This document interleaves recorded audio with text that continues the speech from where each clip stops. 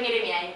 Allora ecco come devi lavare a terra, ecco come devi stendere i panni, ecco come devi stare le camicie. Oh, la stronza di mia madre cucinava a pranzo e a cena, mio marito che non ci capiva niente. I suoi invece erano figli, non chiamavano mai.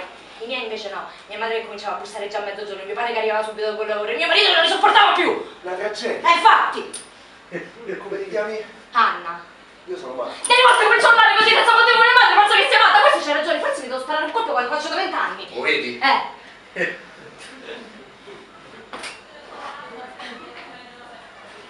Bom, quando ligar.